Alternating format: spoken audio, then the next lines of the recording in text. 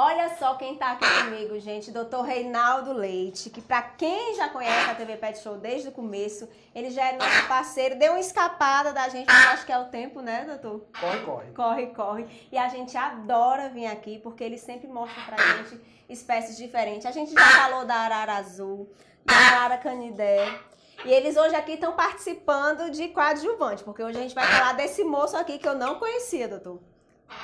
Esse Lindo. daqui é o papagaio anacan. Muito lindo. É um pouco diferente do convencional, né? Todo mundo está acostumado com o papagaio verdadeiro, que é todo verde.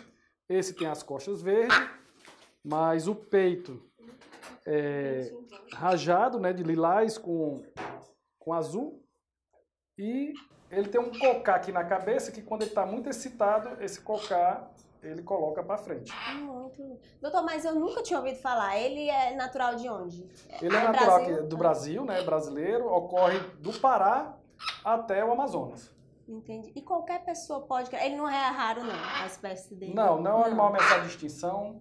É um animal, digamos assim, um pouco difundido, que as pessoas não conhecem como o outro, né? Como o papagaio verdadeiro. Mas a gente pode ter em casa, como as pessoas têm os papagaios normal. É, para adquirir um anacan, você tem que, mesma forma a legislação das araras e dos papagaios. Você tem que adquirir de um criador comercial autorizado pelo IBAMA, né? E esse animal tem que vir com nota fiscal, anilha no pezinho dele, com a identificação Importante né, do animal, do criador, que essa, toda essa identificação é registrada no IBAMA, assim como os dados também da pessoa que está adquirindo. Esse rapazinho, ele nasceu aqui É, com o senhor, é cria nossa, nasceu na incubadora. cria nossa. E ele, qual é a idade dele, doutor? Ele está com quatro meses. Ele cresce, não? Não, porque Já na tá. realidade ele vai crescer talvez um pouquinho o rabo dele, mais uns dois dedos, e vai encorpar mais. Ele ainda é muito novinho. E para quem quiser ser tutor de- dele, como é a alimentação? Como é que, que deve ser feita a criação dele? Bom, é um animal que, assim como os papagaios, né, se alimenta de frutas, verduras e sementes, de um modo geral.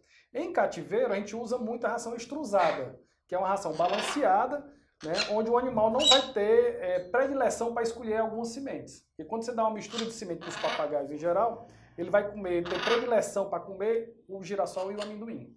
Doutor, vou aproveitar que eu tô aqui, porque né, de vez em quando só que a gente consegue vir, e vou tirar algumas curiosidades. Às vezes você chega numa casa, tem dois periquitos, dois papagaios, o pessoal diz, olha, é um casal. E nunca, esse casal nunca bota ovo. Então, como é que a pessoa pode afirmar se, sem. se- como é que a gente pode saber? É só, é só exame de sangue? É, a gente tem que fazer exame de DNA deles, né, DNA. para saber o sexo. É, normalmente quando você adquire um animal de um criador comercial, esse animal já vem legal, né? legalizado, esse animal já vem sabendo o sexo, a gente faz para registrar para o IBAMA a gente tem que informar o sexo. Então por isso No exame de olho DNA. assim eu não posso. A não ser que ele bote um ovo, que aí é uma Ah, fêmea. é verdade. Mas de modo Então, geral, o- os nossos papagaios, né, periquitos nativos do Brasil, você tem que fazer é, o exame de DNA porque ele não tem dimorfismo sexual. Então, às vezes, se tem um, um- se tem dois juntos e nunca botaram ovo. Pode ser um casal moderno, pode ser duas é fêmeas ou dois verdade. machos. Existe? No- Existe. Ai, que Existe. legal. Chique. Existe. Especialmente se você tiver dois machos ou duas fêmeas, né? Não quer dizer que eles estejam namorando, que se copulando, não. Quer dizer que são parceiros. É, Que ficam amizade. do lado do outro. Nós, seres humanos, é que imaginamos que eles sejam um casal, mas nem sempre é. Esses aqui, macho ou fêmea? Esses aqui são dois machos, filhotes São de quatro filhotes meses, né? E lindos, né? doutor? Eles são bebês.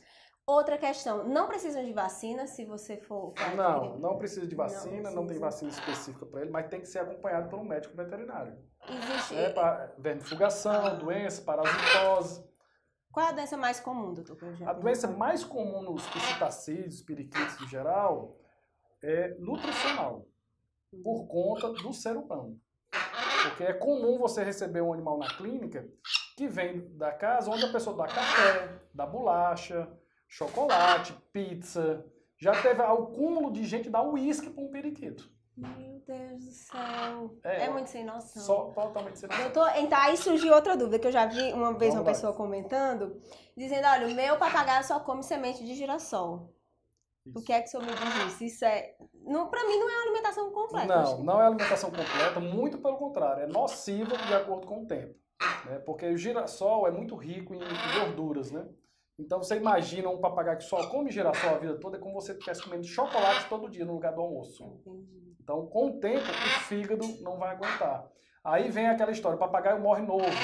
Aí a pessoa diz, não, mas meu, papá, meu pai criava um papagaio, morreu com 20 anos, morreu novo, porque é uma ave para durar 70. Ai, é. Então, se ele morreu com 20 anos, morreu novo por um problema hepático ocasionado por excesso de gordura. Então, sempre tem que procurar um veterinário, né? A gente É não pode fazer bom. o que a gente pensa. Não, muito pelo contrário. A alimentação que hoje o ser humano tem não é boa nem para ele, quanto mais para o animal silvestre. É verdade. Doutor, agora eu, eu agradeço mais uma vez, eu espero sempre voltar aqui, mas eu acho muito importante a gente encerrar o senhor falando da importância das pessoas sempre procurarem locais assim, legalizados, para não contribuir com o tráfico. Exatamente.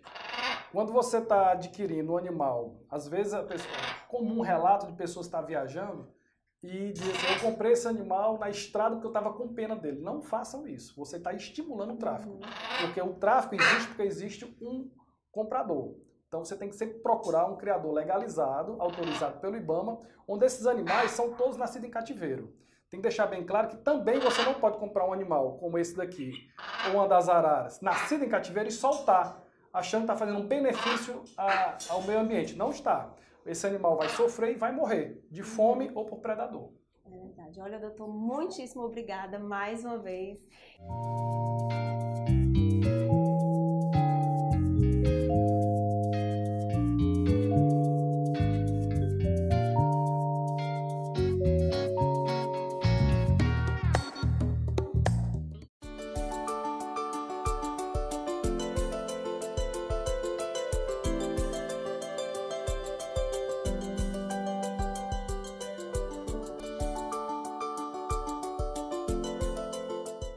Apoio Cultural.